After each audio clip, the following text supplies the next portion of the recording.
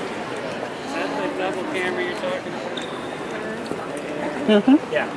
Oh yeah, she's got the double That's camera. cool. dress them up. But, Can you tell us your thoughts about uh, today when Discovery coming in here? well, I was very excited to see Discovery. I had the privilege of flying Discovery in uh, 1999, flying over Christmas, where we upgraded the Hubble Space Telescope. So I have a very close affinity with Discovery. Also, it was my first Hubble mission. I had the uh, ability to fly three missions to Hubble. I'm a big Hubble hugger. Uh, and of course, Discovery deployed Hubble, and we're just on the 22nd birthday of Hubble on orbit, uh, deployed by Discovery. Charlie Bolden was on that mission. So it's great to see Discovery. Although when I first came out here and saw Discovery on the ramp, there was sort of a little bit of an experience that I felt after we land in Florida, and all the you know, you know the celebration of landing is done, and we walked under the orbiter, and it sort of looked like Discovery was ready to be pulled into the orbiter processing facility, getting turned around for its next flight. And so there's just a hint of sadness, and then I thought, well, Discovery is coming for its next flight. It's the flight of imagination that kids will have seen Discovery because it is such an amazing vehicle, the space shuttle. So I'm, I'm looking forward not to just seeing it here on the ramp, it's inside and there's you know, hundreds of kids and people looking at it, and have the opportunity to appreciate all the things we've done with the space shuttle program. And if I could just- Okay, go ahead, go ahead. Um, the SpaceX launch on April 30th. What are your thoughts on uh, commercial spacecraft going up to the ISS? Well, I think it's great. I wish them the best of success. It's really hard to do, so I think we'll all be uh, filled with great expectations, and I wish them the best of luck. You have a question? Reflect back. You said you were in orbit on uh, Christmas Eve. Do you have reflections back on the Apollo 8, that historic mission, and the, the Genesis one meetings back in those days? We did on orbit. We were we were really just working hard, and, and we had pressed to get to orbit to repair Hubble. Hubble at that time was not observing. The aperture door was closed. It had failed gyros, so it couldn't do science. So we looked at it as kind of a rescue mission. The weather was bad the first attempt. Two days later, we tried again, and we got to orbit, and we were doing our work, and it was sort of all of a sudden we surprised ourselves, like, wow, you know, I just did a spacewalk on Christmas Eve, and tomorrow for Christmas we're going to deploy the Hubble. Uh, and so we talked about, uh, you know, the, the Genesis, the end of the beginning, and Frank Borman around the moon. Uh, you know, pretty neat to have that kind of perspective in modern historical times. That you know, this is the beginning of it all. And Discovery and Apollo, and right behind us are the Gemini capsules Mercury capsules. You know, we've been able to experience the beginning of an amazing future for humankind. Um, what's um, in your opinion? What's the uh, what's the legacy that the space shuttle and the Discovery will have on science? I, think you know, my personal view is the legacy is going to be deploying the Hubble Space Telescope, you know, bringing it back to life in 1999, repairing it, the uh, STS-82 mission in 1997, upgrading the instruments. People will look in the back and say, Discovery has enabled amazing science. Good to see you. That was Mike Rensville. What emotions can you today Someone who's out. Uh, you know, the signing ceremony was, of course, the official handover, but you know, seeing it out on the ramp, that was the big thing. And actually, my my emotions the same the first time I saw Discovery, walking out to the pad, uh, or actually in the, in the processing facility, and then walking out to the pad, or just uh, two days ago, seen it fly over Washington. I just get excited to see these space shuttles. They're just so cool. Uh, amazing vehicles, just amazing. when the flyover occurred, it excited a lot of people. And if only they had done a flyover while the shuttle was still flying, maybe it would have reignited some enthusiasm. Do you do you feel that um, the shuttle bowing down all its due visit now it's? Well, I think there's, uh, it's human nature that you often don't appreciate something until it's gone. And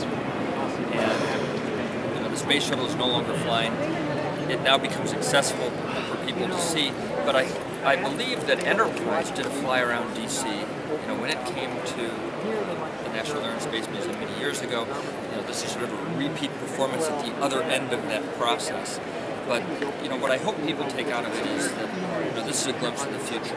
There will be other space vehicles uh, that we're going to go beyond low Earth orbit, but then there'll be some, at some point, you know, some commercial spaceflight vehicle here at Air and Space Museum that has repeated the feat of the space shuttle. NASA will have led the way, reusable vehicle or this vehicle, who knows what it means. James Dean with James. Um, it seems like the first thing that ever come up when you talk about Discovery's legacy is Hubble. I'm a Hubble hugger, what And the, the, the shuttle in, in, in its entirety, and especially Discovery. So, um, as someone who is so part of all those missions, we just speak about that aspect of its legacy and, and why that's makes Discovery such a important deal. Actually, I, I've had uh, the privilege to be involved with all of the space shuttles. I flew uh, Endeavour on my first mission, then Atlantis, then Discovery, uh, then Columbia, and then Atlantis again. And my PhD thesis was actually an experiment in the payload bay of Challenger in 1985. So I've, space shuttles have been my life. You know, I like all the vehicles. Each one has its different character. And the reason why Discovery is special for me is because it was my first Hubble mission. Uh, it was my first opportunity to do a spacewalk, so I actually went outside of Discovery and was able to look back at Discovery from space. Uh, and it's it's a pretty amazing sight, I have to tell you, to be up on the Hubble Space Telescope, like 30 feet, 10 meters above the space shuttle, and to look down and see this incredible system. Know, brought me and my crewmates to orbit as a rocket. We're now using it as a, a workbench to repair the Hubble. And behind the orbiter, uh, 350 miles below us is planet Earth going by at 5 miles a second. We didn't get very many chances to, to do that, but I had one chance where I was up on the Hubble looking down and just look around and think, you know, this, this is just unworldly. You know, the humans are able to go to space, you know, traveling so fast on a space shuttle, go outside in cloth suits and, repair a telescope. Uh, so Discovery is part of that memory of being able to do that. John, I'm Alan Boyle. Hi, Alan. Yeah, good to see You, you. yeah. Now, uh, Senator Glenn said today that he felt that company uh, retired prematurely, and I've heard a lot of other former astronauts say that, they, that this brought more of a sense of disappointment for them, that they felt that the shuttle went before its time. How do you feel about that? Uh, do you feel that pang, or you, do you get that pang from, from your colleagues? Uh, I certainly get that pang from my colleagues. Uh, you know, I, I think you know there's a possibility we could have flown them for a little bit longer, or you know, extended them at some cost. I am actually extremely thankful that we are rolling Discovery into the Air and Space Museum and not you know burying its parts. You know, we flew out the space shuttle program successfully. We didn't lose another one. It would have been tragic, and so you know you can say, well, we could have or would have. Um, but the fact is that you know, the space shuttle program has ended with dignity, amazing accomplishments, and I'm just thankful for that. In fact, you know, I'll share with you, you know, a very small personal story that this morning on my flight suit, for the first time uh, since uh, the loss of Columbia, I took my STS-107 pin off for this event because you know I felt like this is you know an apt celebration that we flew out the program safely after Columbia. You know, that affected me very deeply, and you know I think you know now that we're where we are, I'm looking forward to getting the next space vehicles going and seeing uh, you know the next Americans launch. Mike Isabel, APS News. Um, I'm, won- I'm wondering, in your opinion, what's the um, what's the legacy that uh, the shuttle discovery and the space shuttle program in general will have on scientific discovery, and the pursuit of science? Well, the first thing that comes to mind is the Hubble Space Telescope. When you ask what was the legacy of the Hubble Space Telescope, um, I'm, I'm an amateur astronomer and I still follow what Hubble has done. We also my crew started the Chandra X-ray Observatory, which observes not in light, like visible light like Hubble does, but observes in X-rays. And so many of the satellites that we've taken up, also Earth observation and space lab missions, and I should have mentioned this first, obviously the space station, because the shuttle was built to build a space station. And when the country decided to retire the shuttle, one of the stipulations on that was that we wouldn't retire until the space station was built. So now we have the Hubble Space Telescope, we have the space station, we have um, all the data that we brought back, which is still being analyzed. So I think the shuttle was an extremely, extremely successful program. Um, and also what we've learned technically will help us design the next, uh, the follow-on to the shuttle. Thank you. Okay, right here, and then I, I got, we're gonna go down here. Okay. Okay. Hi, Eileen. I'm Clara Moskowitz with Space.com. Nice to see you again. Clara? Clara, yes. Yes, I know you. Nice to meet you. Yeah, you too. Again. so, what do you hope that kids, especially maybe even girls, uh, get out of see Discovery here? Oh, I think they're going to have a memory that'll last a lifetime for them. I mean, if I was a young person out here, I would remember this forever. In fact, I remember my first trip to the Air and Space Museum. I think I was 16 or 17 years old. So, and that's something that actually helped me decide that I wanted to go into flying someday and I wanted to become an astronaut someday. So I know there were a lot of young people out here, girls and boys, that will see Discovery and our administrator Charlie Bolden mentioned in his speech today that yes, we are building a rocket that will take us farther away from Earth, beyond Earth orbit, that will take us to the moon, onto Mars, onto the asteroids. Wherever we go with it, there is a mission for young people who want to be not just astronauts, but want to take part in the space program. There's there will be a mission for them, hopefully in the not too distant future. Thank you so much. Which we should be maximizing research as a benefit to people right here. Uh, that's why we have, that's why we spent $100 billion building the International Space Station. Because it has more capability to do basic research uh, on it than anything previously built. The shuttle can only stay up for about two weeks, so it was limited time period for research. But the station can uh, take on research projects that last for years. And uh, those may well be the most beneficial ones to us here on Earth. But If you can kind of get together, do you have, anyone have a question here? I do. Clara Moskowitz Space.com. What emotions went through you today when Discovery became a museum artifact officially? Well, I'm sorry to see that happen, but uh, it, it's going to be an inspiration to a lot of our young people here. Uh, museums are made to inspire, to uh, not only let people know what happened in the past, but to inspire people to do their own thing in their own time in the future.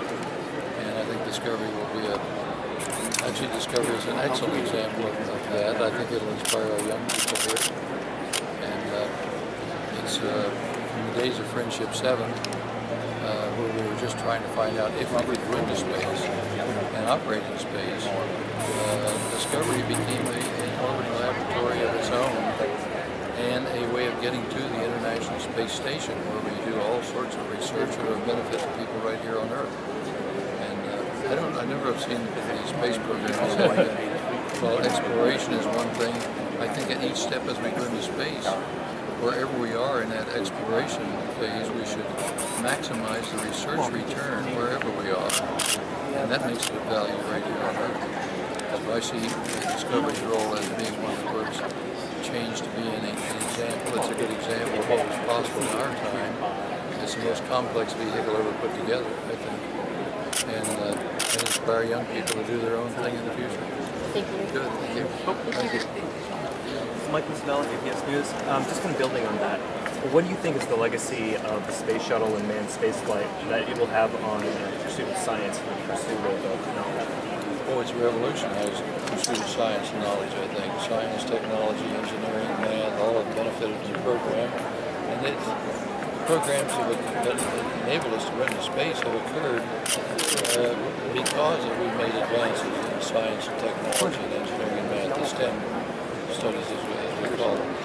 But uh, this is only the beginning, and I think uh, while I may have preferred that the shuttle keep flying a bit longer, that decision is made behind us or other programs, so let's get on with it. Uh, I think it can be a great inspiration to people, showing what was possible in our time, and let them develop that as a stepping stone to greater things in the future.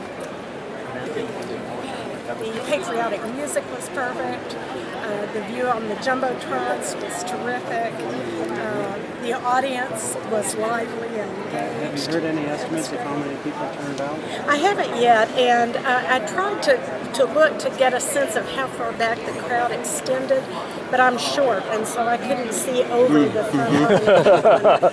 But if if we filled the parking lot today, which we surely must have done, uh, we have 2,000 parking spaces, and so and then we have shuttle buses dropping people off and taxis and all that. Uh, so we say if you average four people per vehicle, we could have maybe 8,000 people here at any one time, 8 to 10. On our Be a Pilot Day, which we hold on Father's Day weekend, mm-hmm. we typically have 18 to 20,000 people over the course of a day. So people come and leave, and others come and leave, and that sort of thing. We're expecting a second wave this afternoon when school lets out, mm-hmm. and that families will come in. And then after four o'clock, we'll probably have another wave because the parking fee is waived at four o'clock. Uh, so we could conceivably fill the parking, parking lot three times, but we probably won't know the count until the morning. Technical question. I saw that you had difficulty getting the bars out Yeah. of that. Will you be able to close it tonight with Uh, it will be temporarily closed tonight, I think, and then seriously closed tomorrow. Apparently, what happened, I don't, I haven't talked to the guy in charge yet, so this is just my impression of what happened was when we bought Enterprise in, uh, the people who did the closeout of that split weren't reminded that we were going to need to open it again someday because we, we always thought we would someday have to open it again. And so they welded the bars in place instead of bolting them in place. And so they had to get some kind of saws and literally saw through the bars uh, to get them out. And that was continuing right up until about 6:45 this morning.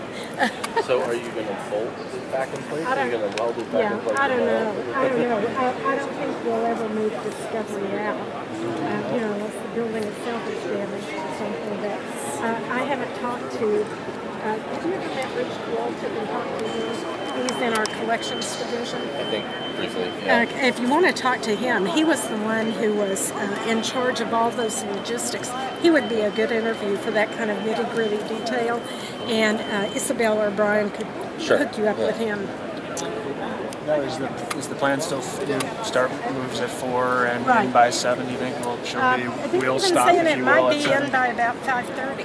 Uh, you know, it, the move in this morning went so smoothly, and the move out of Enterprise went so smoothly that they're thinking it's going to go faster than anticipated, and it, it might all be done by 5:30 to 6. So um, I would say plan to plan to be outside around four o'clock to watch the shuttle start, and then when it becomes evident that Discovery is moving toward this hangar, this whole mezzanine up here will be open. And also, of course, the catwalk and the floor area where you were this morning. But the mezzanine will give you kind of a different view, different angle. Mm-hmm. To me, though, the best spot to be when it's coming through the slit is kind of right in front of it because you see daylight on both sides of the ventral stabilizer and, and you kind of see the unique configuration. So you've got students coming in tomorrow. Okay. Oh, we do. To see you. Hi, Mike Isabella, APS News. Um, I'm wondering, in your opinion, what do you what is the uh, legacy that the space shuttle has had on the pursuit of science and scientific knowledge? Uh, the legacy of, sh- of shuttle can be seen not every night, but many nights if you go outside, look overhead, and see this big bright star that's running across the sky in the International Space Station. That that is the legacy of shuttle. It, it is only through shuttle that we were able to produce the International Space Station, which is the toehold on our universe for deep space exploration for humans. So as NASA works to get humans to Mars and asteroids and other places like that, that's because we have the shuttle uh, as the as the workhorse to, to make that possible for us. What's your favorite memory of Discovery? Oh, I, I was telling somebody down the line, my favorite memory of Discovery is not about flying. My, my favorite memory, my most cherished memory of Discovery is the experience I had of creating the friendship between Sergei Krikalev and Vladimir Titov, who were, Sergei and I were crew members on Discovery my last flight. First joint Russian-American shuttle mission, but just the opportunity to be a part of bringing their families to the United States for a couple of years, talk about our different cultures, learn about each other, and become very good friends. That's the most cherished thing out of, out of my time in Discovery. Being in Hubble, that wasn't that wasn't too bad when you talk about on orbit, you know, in flight kinds of things that, that you'll remember forever. Okay, yeah. Robert, have you got a question? Um, the the, the uh, having a the space shuttle here in Washington D.C. Um, do you think it's going to have an effect on on in bringing the space program into pub, the public's imagination again here with the nation's I think it already has. If you look at what was, I wasn't here, but if you look at what happened on Tuesday, when people came from miles around, or people who didn't even know about it, you know, saw people looking up, got out of their cars and saw it and marveled. Um, people, people are impressed when they have an opportunity to see something. The big big deal about bringing Discovery here to Udvarhazy is that millions of people come through here uh, over the course of the year from all over the world. And they'll have an opportunity through the education programs here to learn about space and science and, and discovery. Uh, and hopefully what we'll be able to do is we hand off access to low Earth orbit to private companies as we're going to do with SpaceX and Orbital this summer. Uh, and we complete the development of our heavy lift launch vehicle, the multi-purpose crew vehicle Orion, and we start to fly humans to deep space destinations, you know, within within the next five years or so. Uh, I think we're going to reignite the excitement that people used to have. Uh, I think a lot of people still have it, those who are space enthusiasts, but but I think we're going to bring back the excitement to people who never dreamed about space, never thought about uh, you know what it's like to be out there and that and that kind of stuff. And it's actually going to start this summer. Trust me when when the Mars when uh, when MSL when Curiosity lands on Mars in August and people start seeing images from the red planet in high definition color that is going to excite the imagination in ways that I think we, we haven't even begun to imagine yet. It'll be sort of like Hubble. You know, people had ideas about what Hubble was going to do. Nobody had any any imagination that Hubble was going to open up our universe the way that it has, that it was going to make school kids want to go online and, and see another Hubble image. I think that's what Curiosity is going to do this August when we land on Mars. And then that's going to be, you know, the, the big advantage of, um, of, of having science go on. People need to understand we are about science and exploration. When we have, uh, you know, SpaceX launch here on the 30th of this month, uh, that's going to reignite interest in people who just like to see things leave the planet. Uh, and it's going to be the first time that a private company is going to launch a vehicle from, from, from Earth for themselves, not for the Army or Navy or Air Force, Marine Corps, or NASA, but for themselves to demonstrate that it can be done. And then the piece de resistance, if you want to say that, is several days later when they rendezvous with the International Space Station, get checked out, and then astronauts on board station reach out and grasp this private vehicle, attach it and make it a part of the International Space Station for a number of days. That's the beginning of an entirely new era, and that's going to rewrite the history books. So that we, there are a lot of things you should all be excited about in helping us tell the story, and and it begins the end of this month. So this was the beginning of the new era, bringing Discovery here and, and having people celebrate the incredible 30-year history uh, of the internet of, of, of the shuttle program but its legacy is the International Space Station. It's private space enterprise. It's going to Mars and going to asteroids and all that kind of stuff. That's what people who died on Columbia and Challenger gave their lives for, so that other people can do the kinds of things that they dreamed about. Okay? Thanks very much. Jeff, have you got a question? Yeah, quick one. Ooh, I'm sorry. Um, no, no, no worries. He got do, me do spun up. do, do events, do the shuttle transition events like this, what's going to come up in New York and LA, help you tell the story about the future of NASA, or do they complicate it because people see the end of the shuttle and they think the end of NASA? I think they help us immensely because shuttles uh, phase out was necessary. It, it's like anything, you know. In order to move on to another phase of life, you've got to get the other part done and uh, and celebrate it, and then move on. Uh, you know, getting getting discovery here so that people can see how we got to this part of our exploration uh, experience is important. We should never forget uh, what was done in the 30 years of the shuttle program. But it was all done for the purpose of getting us to the next phase of exploration. We never dreamed about staying in low Earth orbit forever. That, that's never been anybody's desire. Uh, it was just time and circumstances and budget did not allow us to go on. Um, you know, President Obama took a, a bold leap and said, okay, we've talked about doing this, but we're really going to do it. We're going to phase out shuttle. We're going to give access to low Earth orbit responsibility to private enterprise. And I want to make NASA go off and do things that they've wanted to do, but just haven't had the wherewithal to do. And that's what we're excited about, building a heavy lift launch vehicle in Orion uh, and getting on the way to Mars and asteroids and other kinds of things. And it's going to happen, you know, in, in the coming decade. So, so we're excited about it. James, do you get a question? You're good? Good. Alan, hey, you thanks have a very much. question? Thank you. Thank you. Yeah, thanks a lot. Thanks to all of you. Thank you very much. Voice of America, and then we're going to talk to Smithsonian. The final wheel stop? Final wheel stop, Discovery. She's at her new home. What do you think? Uh, mixed emotions. Like I said before, it's, uh, this orbiter means a lot to me, and uh, it's gonna be hard. Well, you think this is the best home for her? Definitely. Discovery's got a great home. I mean, look at the people here come out today, and hopefully it's like this every day for her. It'll be awesome. Have you felt the buzz of, of all the public? Have you felt it? Oh yeah, I've seen it and felt it. I mean, I was watching TV when she flew over here, and it was like parking lot full. You know, totally awesome. It was like a shuttle launch. You know, it was cool. What's going to be your best memory of this day? This right now, spotting her where she's going to be. She'll never move again. You know, and I was part of putting her here, so I'll never forget that. You going to come back? Soon, uh, probably in a month and a half, three days, and four hours. I'll be here.